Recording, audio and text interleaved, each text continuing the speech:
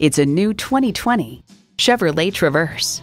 There's so much room in this Traverse that those driving the competitors' cars are filled with cargo envy. And with features like these, every drive's a pleasure.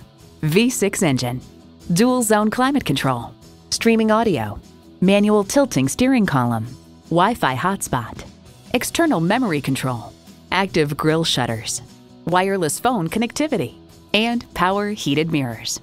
In a Chevy, the journey matters more than the destination. The time is now. See it for yourself today. Call us today at 754 220 2988